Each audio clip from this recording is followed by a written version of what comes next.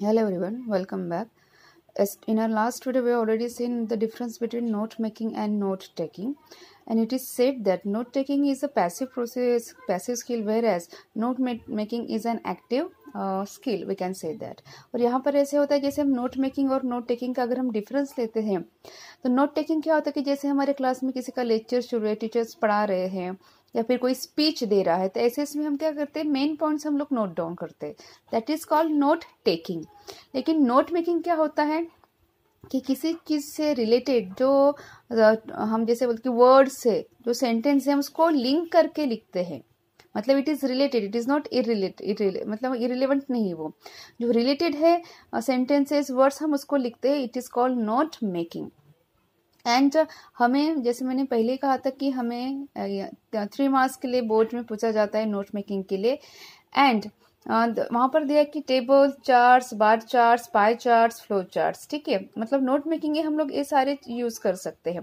Line graph है tree diagram है tree diagrams pictograms maps and plans ठीक है? अब यहाँ पर जब हमें क्वेश्चन पूछा जाएगा बोर्ड में ऐसे इसमें पिक्टोग्राम्स नहीं पूछते हैं।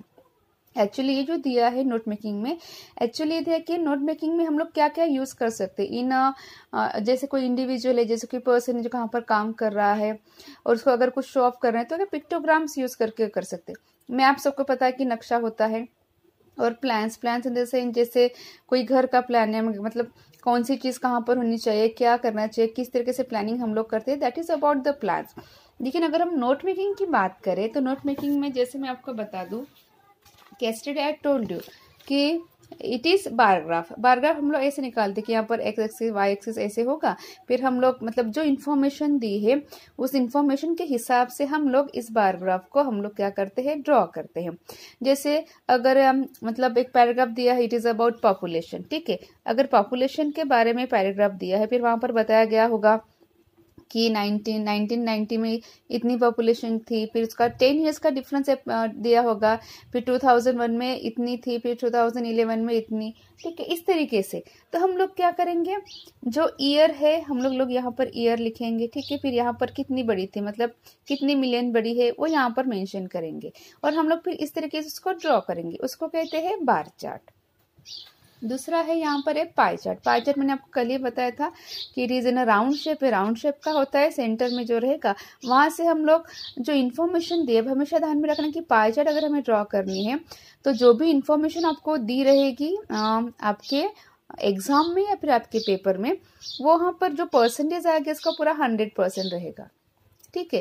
तो आपको क्या करना है? उसके हिसाब से आपको यहाँ पर ड्रॉ करना है. जैसे अगर कोई एग्ज़ाम्पल दिया है, ठीक है, इसको थोड़ा सा ध्यान से सुनो।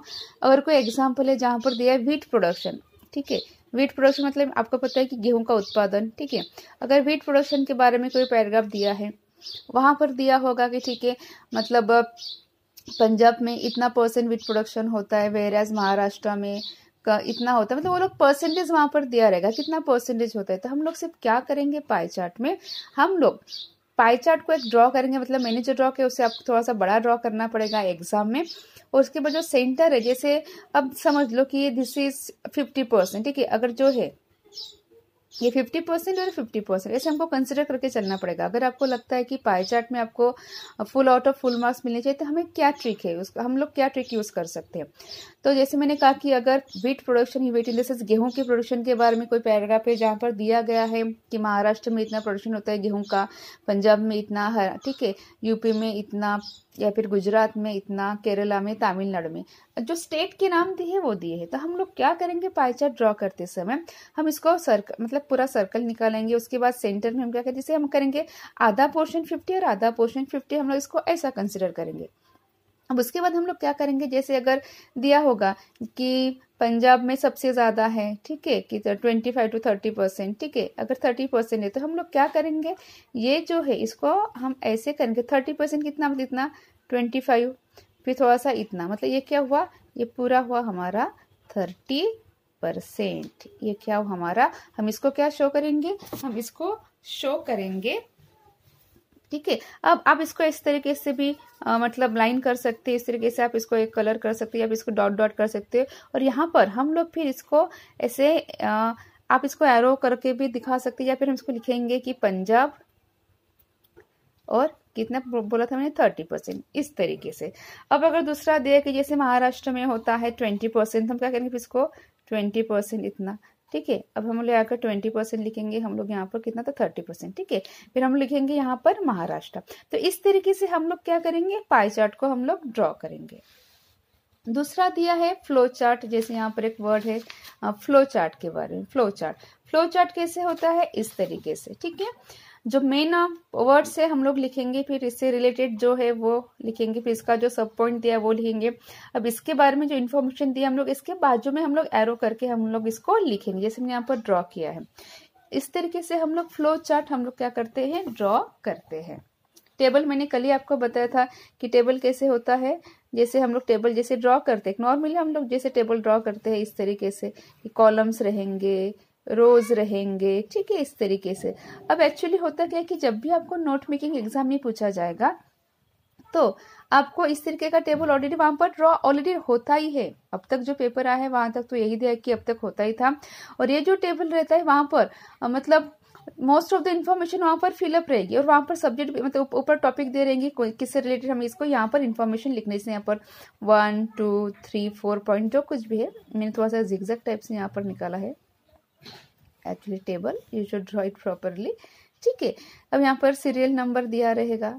फिर दिया रहेगा किस चीज़ के बारे में है यहाँ पर पॉइंट्स दे रहेंगे कि आपको यहाँ पर क्या क्या लिखना है, ठीक है? अब एक्चुअली क्या होगा कि यहाँ पर कुछ कुछ पॉइंट्स यहाँ पर लिखे रहेंगे, कुछ आपको फिलअप करने पड़ेंगे, कुछ यहाँ पर फिलअप करना पड़ेगा, कुछ दिए रहेंगे। तो इसका मतलब क्या है, लेकिन मैंने कल ही आपको एक्सप्लेन किया था कि जब भी हम लोग नोट मेकिंग करते हैं तो एट फ़र्स्ट हमें एक ही बात ध्यान में रखने की हमें सिक्वेंस वाइज जाना चाहिए। सिक्वेंस इन द सेंस की जैसे टेबल दिया है ऑलरेडी एग्ज़ाम में कि आपको इस तरीके से टेबल ड्रॉ करना और इन्फॉर्मेशन फिलअप करनी है। तो हम लोग क्या करेंगे वहाँ पर? हम लोग स्टार्टिंग में जो पहला पॉइंट है, हम उसकी इन्फॉर्मेशन लिखेंगे बराबर से। अब मैंने ये भी कहा था कि जब भी हम लोग इन्फॉर्मेशन लिखेंगे तो हमें पूरा सेंटेंस नहीं लिखना है।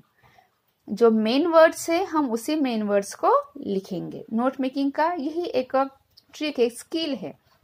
ठीक है, हम लोगों ने मेन वर्ड्स जो रिले, यहाँ पर जो दिया रहेगा उससे रिलेटेड हम लोग इन्फॉर्मेशन यहाँ पर लिख लेंगे। उसके बाद हम लोग यहाँ पर अच्छे से लाइन ड्रॉ करेंगे, फिर हम लोग लिखेंगे सेकंड पॉइंट सेकंड पॉइंट क्या है हम देखेंगे पैराग्राफ में, उसके बाद हम लोग ये सेकंड पॉइंट की इन्फॉर्मेशन फिलअप करेंगे। उसके बाद हम लोग क्या करेंगे? थर्ड पॉइंट लिखेंगे। अदरवाइज़ मैं इसलिए सब बता रही हूँ कि बिकॉज़ होता क्या है कि हम लोगों को थोड़ा सा एग्ज़ाम में जल्दी होते हैं, हम क्या सोचे, चलो, पहले पूरा ड्रॉ कर लेते हैं टेबल उसके बाद में हम लोग वन टू थ्री पर लिख लेंगे, इसके बाद में इन्फॉर्मेशन लिख लेंगे. लेकिन होता क्या कभी कभी कि जो इन्फॉर्मेशन हमें लिखनी है, जो पॉइंट्स हमें यहाँ पर लिखने हैं, जो नहीं दिए हुए हैं, उसको कभी कभी लिखने के लिए जगह ज़्यादा होती है। अब हम लोग इसको अच्छी तरीके से डॉट करके ऐसे ऐसे लिख सकते हैं, अगर दो, अगर इससे रिलेटेड दो तीन पॉइंट्स है तो होगा क्या कि अगर आप एक ही बार सब ड्रॉ करेंगे, फिर बाद में आप लोग लिखना चाहोगे तो क्या होता, अगर यहाँ पर जगह सफिशियंट नहीं तो हम लोग इसको बारीक बारीक हैंड में लिखते हैं।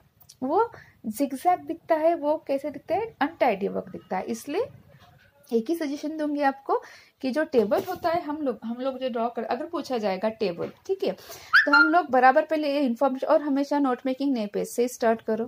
और हमेशा आप लोग क्या करोगे कि नए पेज पर आप अच्छे से टेबल जो है वो लिख आप ड्रॉ करेंगे, उसके बाद जो वहाँ पर ऑलरेडी हेडिंग दी रहेगी टेबल किसके बारे में, हम उसको अच्छे से सेंटर में बोल्ड इसमें लिखेंगे कैपिटल लेटर्स में, उसके बाद हम लोग टेबल ड्रॉ करेंगे। उसके बाद हम लोग सीरियल नंबर के लिए जगह कम लिखते इसलिए सीरियल नंबर हम छोटा सा यहाँ पर करेंगे ड्रॉ फिर जो पॉइंट्स दिए, हम पॉइंट्स देखेंगे, ठीक है, और इसको बराबर से अगर थ्री पॉइंट्स दिए है तो तीन हम लोग करेंगे डिवाइड आपको पता है कैसे ड्रॉ करना है? फोर है तो हम लोग फोर यहाँ पर क्या करेंगे? कॉलम्स और रोड कॉलम्स ड्रॉ करेंगे। इसके बाद हम लोग सबसे पहले फ़र्स्ट पॉइंट लिखेंगे। फ़र्स्ट पॉइंट में क्या है इन्फॉर्मेशन वो हम पहले पैराग्राफ पढ़ के उसके बाद हम लोग यहाँ पर लिखेंगे। If you are not sure about some point अगर आपको लगता है कि कोई है पॉइंट जिसके बारे में आप लोग श्योर मतलब श्योर नहीं हो, आप क्या करो, फ़िलहाल पेंसिल से लिख लो एक पॉइंट क्योंकि होगा क्या कि पेंसिल से लिखने के बाद आपको लगता है कि नहीं नहीं, अगर ये रॉन्ग हुए दूसरा है तो हम लोग क्या कर सकते इसको रब करके लिख सकते हैं। लेकिन सारी इन्फॉर्मेशन पेंसिल में मत लिखो बिकॉज़ पेंसिल का लिखा हुआ एग्ज़ाम में कंसिडर नहीं किया जाएगा नोट मेकिंग में। फिर है सेकंड पॉइंट अब ये होने के बाद हम लोग सेकंड पॉइंट लिखेंगे, फिर इसकी इन्फॉर्मेशन लिखेंगे, उसके बाद हम लोग थर्ड पॉइंट की तरफ़, उसके बाद हम लोग अगर चौथा पॉइंट दिया फोर्थ पॉइंट इसके बाद हम लोग फोर्थ पॉइंट्स लिखेंगे। ये बात नोट मेकिंग की ओर ध्यान रखना। दूसरा है लाइन ग्राफ, जैसे यहाँ पर दिया है लाइन ग्राफ, ठीक है? अब लाइन ग्राफ क्या होता है? लाइन ग्राफ इस तरीके से होता है, आपने देखा होगा शायद से, जैसे ऐसे तो रहेंगे, एक ऐसे रहेंगे, ठीक है? फिर जो इन्फॉर्मेशन है, उसमें क्या दिया है, उसको हम ऐसे क्या करेंगे, जो पॉइंट रहेंगे हमारे यहाँ पर फाइव टेन फिफ्टीन जो भी रहेगा यहाँ पर, हम उसके हिसाब से यहाँ पर पॉइंट्स देंगे, फिर उसको क्या, उस पॉइंट्स को हम लोग क्या करेंगे? ज्वाइन करेंगे that is called line graph. Next is your tree diagram जो मैंने कल ही एक्सप्लेन किया था कि ट्री डायग्राम में आपको ट्री मतलब पेड़, आपको पेड़ नहीं निकालना है। ट्री डायग्राम में आपको, जैसे है पॉइंट्स रहेगा मेन पॉइंट्स ठीक है? वो आपको यहाँ पर लिखना पड़ेगा। उसके बाद उससे रिलेटेड कोई सब पॉइंट्स दिए हैं तो हम क्या करेंगे? इसको अच्छे से इस तरीके से करेंगे एरो करेंगे, ऐसे। फिर उसके नीचे जो उसका सब पॉइंट है, हम इसको यहाँ पर लिखेंगे। दो दो सब पॉइंट है तो हम लोग दो लिखेंगे। अगर एक ही है तो हम लोग क्या करेंगे? एक ही एरो करके हम लोग उसके नीचे लिखेंगे। अब ये जो हमने लिखा, उससे रिलेटेड और कुछ इन्फॉर्मेशन है, जैसे दो, उसके, उससे रिलेटेड अगर कुछ दो इन्फॉर्मेशन है तो हम लोग क्या करेंगे? दो इस तरीके से ड्रॉ करेंगे। अगर तीन है तो हम लोग तीन ड्रॉ करेंगे। यहाँ पर भी वैसे तो इस तरीके से हम लोग क्या करेंगे, जो इन्फॉर्मेशन दी गई है, हम उसको पुटअप करेंगे, हम उसको लिखेंगे।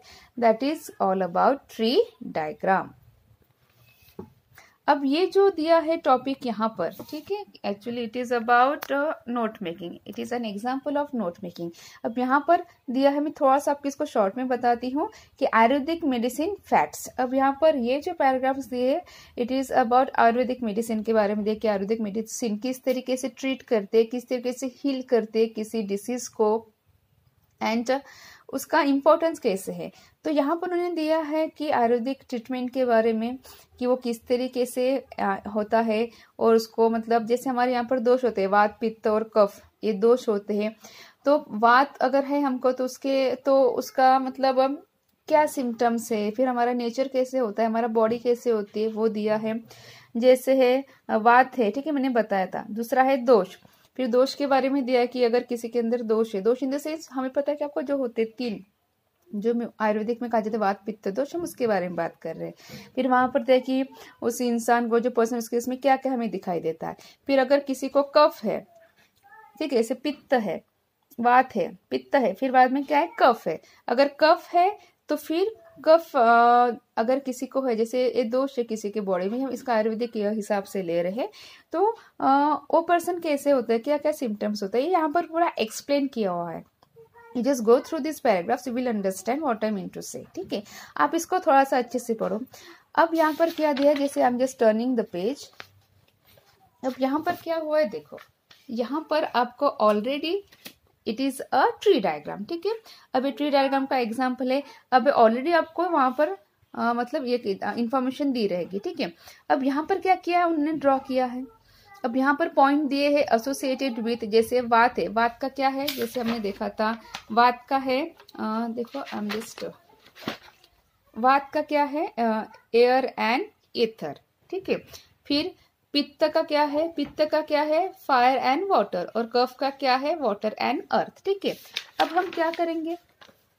पहले तो हम उसको अच्छे से ड्रॉ करेंगे, फिर हम फ़र्स्ट पॉइंट लिखेंगे। ठीक है? हम ऐसे ही ड्रॉ करेंगे, उसके बाद एसोसिएटेड विथ बात किससे एयर एंड एथर से। पित्त किसे है? किससे है? जैसे मैं एक बार फिर से देख लू, पित्त है फायर एंड वाटर से हम यहाँ पर लिखेंगे। कफ को ऑलरेडी दिया है वाटर एंड अर्थ हो गया। उसके बाद हम लोग नीचे का ड्रॉ करेंगे। कैरेक्टरिस्टिक जैसे दिए हम लोग वैसे के वैसे ही हम लोग लिखेंगे। इसके बारे में जुदे पित्त के बारे में हम लोग उसको भी वैसे के वैसे लिखेंगे, उसके बाद जो कफ। अब कफ क्या है? वाटर एंड अर्थ ठीक है? अब यहाँ पर क्या दिया है? कैरेक्टरिस्टिक्स मतलब जिनके अंदर ये दोष है, वात, पित्त और कफ, इनके खासियत क्या होते हैं, ठीक है? जैसे वात के बारे में दिया कि वात जिनके, जिन पर्सन में होते हैं, वो थीन और लाइट होते हैं फिजिकली ड्राई स्किन वाले होते हैं, थोड़ा सा एनर्जेटिक होते हैं और मेंटली रेस्टलेस मतलब वो लोग मेंटली ये नहीं होते। जैसे मैं कि थोड़ा सा एग्रेसिव हो जाते हैं। जिसके बॉडी में पित्त है, उसकी खासियत क्या होती है? मीडियम बिल्ड बॉडी होती है, उनकी फेयर स्किन होती है डाइजेशन सिस्टम उसका अच्छा होता है, उनका कॉन्सेंट्रेशन जो होता है मेंटल कॉन्सेंट्रेशन वो बड़ा अच्छा होता है। अब हम लिखेंगे कफ के बारे में। अब कफ की कैरेक्टरिस्टिक्स क्या है? देखो। कफ यहाँ पर दिया है नीचे। कफ की कैरेक्टरिस्टिक्स क्या है? हाँ oily complexion slow calm and peaceful अब क्या करेंगे? फ़र्स्ट लिखेंगे हम लोग ऑयली कॉम्प्लेक्शन यहाँ पर। फिर स्लो फिर क्या है? और स्लो के बाद है काम काम उसके बाद पीसफुल हो गया हमारा ये पॉइंट उसके बाद हम लोग जाएँगे थर्ड की तरफ़। दैट इज़ इम्बैलेंस शोज़ पित्त का ऑलरेडी यहाँ पर फिलअप किया गया कि वो एंगर है एग्रेशन है एक है उनका, ठीक है? उनके बॉडी में क्या इम्बैलेंस है? उसके बाद कफ का भी दिया है। अब हमें किसका ढूंढना है? वात का, ठीक है? तो वात का इम्बैलेंस क्या है यहाँ पर? हम लोग वात का पढ़ेंगे, ठीक है? अब वात का बैलेंस दिया यहाँ पर कि नर्वस प्रॉब्लम होता है। तो हम लोग क्या करेंगे? नर्वस प्रॉब्लम वो लिखेंगे। उसके बाद हाइपर एक्टिविटी होती है, उसके बाद स्लीपलेसनेस नींद नहीं आती है। लोअर बैक पेन मतलब बैक पेन में जो लोअर साइड है, वहाँ पर दर्द होता है और हेड ठीक है? ये जो है, जहाँ से मैंने ब्रैकेट किया है, ठीक है? जो पॉइंट्स है, सिर्फ़ हम लोग पॉइंट्स लिखेंगे, ठीक है? एक के नीचे। वो कहाँ लिखेंगे हम लोग? इस बात के बारे में जो दिया है, उसके नीचे। तो इस तरीके से हम लोगों का क्या हो गया? इस तरीके से हमारा जो है नोट मेकिंग वो हमारा खत्म हो जाता है। It's very easy only we need to understand कि क्या है करके। उसको अच्छे से नीट एंड क्लीन तरीके से अगर हम लोग ड्रॉ करते हैं और लिखते हैं तो हमें full out of full marks मिल जाते हैं। अब देखो नेक्स्ट एग्ज़ाम्पल दिया है। देखो क्या है कि transfer the above information in the form of a table अब हमें क्या करना है? ये जो इन्फॉर्मेशन दी है, अब हमें तो ठीक है, इसको हमें किसमें ट्रांसफ़र करना है? टेबल में। तो अगर हमें टेबल में करना है तो हम लोग क्या करेंगे? जैसे मैंने कहा ये जो है बॉडीली प्रोसेस इसको हम बराबर सेंटर में लिखेंगे हमारे जो है आंसर शीट उसके बाद हम लोग इस तरीके से पहले दो शाह एक चार कॉलम्स हम लोग कर लेंगे। उसके बाद अच्छी तरीके से ड्रॉ कर। अब हम क्या करेंगे? पहले वाद के बारे में लिखेंगे। जैसे मैंने पहले आपको कहा कि आपको सारा एक बार नहीं लिखना है। पहले हम लोग वा, वाद के बारे में लिखेंगे। एसोसिएशन क्या है? एयर एंड इथर ठीक है। अब इसकी कैरेक्टरिस्टिक्स क्या है? ये है थीन एंड लाइट तो हम इसको क्या करेंगे? हम लोग इसको इस तरीके से डॉट करके या फिर हम लोग स्टार करके भी हम लोग एक के नीचे किसको लिख सकते हैं, जैसे मैंने यहाँ पर किया है। ठीक है? आप डॉट करके आप इसको डॉट जो बोल्ड होते हैं, उस तरीके से वन बाय वन लिख सकते हैं। Can make over there star also ठीक है? अब क्या है? थीन एंड लाइट हम यहाँ पर लिखेंगे। थीन एंड लाइट दूसरा क्या है? ड्राई स्किन हम लोग लिखेंगे यहाँ पर ड्राई स्किन थर्ड है एनर्जेटिक फिर हम लिखेंगे एनर्जेटिक करके। इस तरीके से हम लोग फिर कैरेक्टरिस्टिक्स लिखेंगे। देन आफ्टर हम लोग लिखेंगे इम्बैलेंस कॉज अब इम्बैलेंस कॉज यहाँ पर हमने ढूंढ कर लिखा है ऑलरेडी ठीक है? वो पॉइंट्स हम लोग यहाँ पर वन बाय वन लिखेंगे। ये हमारा बात हुआ। इसके बाद ही हम लोग फिर सेकंड लिखेंगे पित्त के बारे में। और एक ही साथ हमें पूरा टेबल ड्रॉ नहीं करना है। पहले बात लिखेंगे, उसके बाद यहाँ पर जिस तरीके से लाइन है, उस तरीके से लाइन ड्रॉ करेंगे हम लोग अपने आंसर शीट में। उसके बाद ही हम लोग क्या लिखेंगे? पित्त के बारे में लिखेंगे। अब पित्त की किस, किससे एसोसिएटेड है? फायर एंड वाटर से। हम लिखेंगे फायर एंड वाटर इसका कैरेक्टरिस्टिक क्या है? स्ट्रॉन्ग डाइजेशन ठीक है? इम्बैलेंस कॉज क्या फिर हम लोग लिखेंगे उसको। ठीक है? तो इस तरीके से हम लोग क्या करेंगे? यहाँ पर इंफॉर्मेशन फिलअप करेंगे। ये है हमारा क्या? ये हमारा नोट मेकिंग अब यहाँ पर एक एग्ज़ाम्पल दिया है ब्रेन ठीक है it is an example A one question है हमारा, ठीक है? अब यहाँ पर थोड़ा सा मैं आपको एक्सप्लेन करूँ it is an homework it is a homework for all of you कि read the following passage carefully and complete the activities अब ये जो पैराग्राफ्स दिए हुए हैं, इसको आप लोग थोड़ा सा पढ़ लो केयरफुली मैं इसको थोड़ा सा आपका जो थीम है, इसका मैं बता रही हूँ। कि ये जो पैराग्राफ दिया वो दिया है सेल्फ मेडिकेशन के बारे में। सेल्फ मेडिकेशन का मतलब होता है कि अगर हमें कुछ होता है, जैसे बुखार आता है, खांसी आती है, सर्दी होती है तो हम लोग क्या करते हैं, डॉक्टर के पास ना जाकर हम लोग अपने मन से दवाइयाँ लेते हैं। अपने मन से हम लोग मेडिसिन लेते हैं, टैबलेट्स लेते हैं या फिर सिरप लेते हैं, कप सिरप वगैरह। That is called self medication तो यहाँ पर दिया है कि सेल्फ मेडिकेशन हार्मफुल कैसे बिकॉज़ हम अगर डॉक्टर को कंसल्ट करते तो डॉक्टर को पता होता है कि कॉज क्या है, किसकी वजह से ये सारी चीज़ें हो रही है। हमको सारी वो एक्चुअली क्वेश्चंस पूछते डॉक्टर देन वी आंसर दे और डॉक्टर्स भी हम लोगों को अकॉर्डिंग टू आर डिसीज ठीक है, वो हमें क्या करते हैं? मेडिसिन देते हैं। अब मेडिसिन देते तो वहाँ पर वो बताते हैं कि आपको कितना लेना है, कितना एम लेना है कितनी टैबलेट लेनी है, कब लेनी है बिफोर मील और आफ्टर हैविंग अ मील इस तरीके से वो सजेस्ट करते हैं। तो अगर हम लोग self medication in the sense अगर हम लोग क्या करते हैं? अगर हम लोग खुद अपने मन से टैबलेट्स लेते हैं तो ये हमारे हेल्थ के ऊपर उसका बहुत साइड इफ़ेक्ट होता है। हमारे बॉडी को वो हार्मफुल्स होते हैं ठीक है? वर्स्ट इफ़ेक्ट होता है बिकॉज़ हमें नहीं पता है क्या हम लोग को बस अगर ठीक तबीयत ठीक नहीं लगी हम लोग डायरेक्टली उसको कंज्यूम कर लेते हैं। टैबलेट्स बोलो या फिर सिरप बोलो हम उसको ले लेते हैं। हमें कहीं ना कहीं वो आ, मतलब इंस्टेंट रिलीफ मिल जाता होगा बट स्टिल हमें नहीं पता होता है कि वो टैबलेट्स कैसे ने कितने एमजी पावर भी होता है वहाँ पर ये सारी चीज़ें। तो उसके बारे में यहाँ पर दिया है। सेल्फ मेडिकेशन के बारे में उसके बाद दिया कि अगर हम डॉक्टर को कंसल्ट करते हैं तो डॉक्टर हमें उसके हिसाब से हमें देते हैं। जैसे हम लोग कभी कभी पता विटामिन की गोली खाते हैं, कफ का सिरप पीते हैं आयरन टैबलेट्स खाते हैं। वो क्या होता है? कभी कभी पेन किलर्स भी खाते हैं, ठीक है? तो होता क्या है कि हम लोग अपने मन से ले रहे हैं ये सारी चीज़ें तो कहीं ना कहीं इसका साइड इफ़ेक्ट कहाँ पर होता है? हमारे बॉडी पर होता है। तो ये दिया है पूरा इसके बारे में। सेल्फ मेडिकेशन के बारे में इसके साइड इफेक्ट्स यहाँ पर दिए हुए हैं। अब इसका जो क्वेश्चन है, देखो, इसका क्वेश्चन अब यहाँ पर है। ठीक है? कि किस तरीके से हम लोगों को ये करना है। अब यहाँ पर क्या दिया है? Complete the following points with the help of the above text मतलब गिव अ सुटेबल टाइटल अब हमें क्या करना है यहाँ पर? टाइटल देना है ठीक है? तब हम लोग क्या करेंगे, यहाँ पर अच्छे से टाइटल देंगे। उसके बाद यहाँ पर दिया फ़र्स्ट पॉइंट सेल्फ मेडिकेशन हम लोग वैसे का वैसे ड्रॉ करेंगे। अब सेल्फ मेडिकेशन के बारे में दिया है कि part of normal living last hundred years ये पैराग्राफ अगर आप पढ़ते हो तो आपको ध्यान में आ जाएगा। उसके बाद सेल्फ मेडिकेशन के बारे में और क्या क्या दिया हुआ है? तो हम लोग क्या करेंगे? मैंने पहले कहा हम लोगों को पूरा सेंटेंस नहीं लिखना है। हम लोग जो मेन मेन वर्ड्स है हम उसको यहाँ पर लिखेंगे। उसके बाद में जो है मेडिकल प्रिस्क्राइबिंग मतलब अगर हम डॉक्टर के पास जाते हैं तो डॉक्टर हमें किस तरीके से डायग्नोस करते हैं, उसके बारे में हम लोग यहाँ पर लिखेंगे। उसके बाद दिया है second one technological advancement in medicine ठीक है? जैसे है ड्रग थेरेपी है, फिर और क्या क्या दिया है? ऑलरेडी पैराग्राफ में दिया है, हम उसको पढ़ेंगे और वहाँ पर हम लोग लिखेंगे।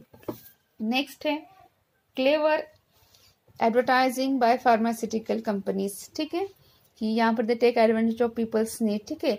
अब जो फार्मास्यूटिकल कंपनीज़ है, वो क्या करती हैं? वो ऐड देती है अपनी कि हाँ अगर आपको सर्दी हुई तो आप ये टैबलेट लो, अगर कफ हुआ है आपको तो आप ये सिरप ले सकते हो। तो होता क्या है? अब इसके बारे में वहाँ पर दिया है तो क्या दिया है? यहाँ पर take advantage of public need मतलब पब्लिक की ज़रूरत है इसका फ़ायदा कौन लेते हैं? फार्मास्यूटिकल्स कंपनी लेते हैं। उसके बाद दूसरा कौन सा पॉइंट है वो है तीसरा कौन सा पॉइंट है हम लोग उसको लिखेंगे। मतलब इस तरीके से हम लोग क्या करेंगे जो भी इंफॉर्मेशन है we are going to put in a very neat and clean way ठीक है? इसको अच्छी तरीके से लिखेंगे तभी आपको क्या होगा three out of three marks आप लोग स्कोर कर सकते हो एग्ज़ाम में। This is all about note making. We have already uh, ended this lesson.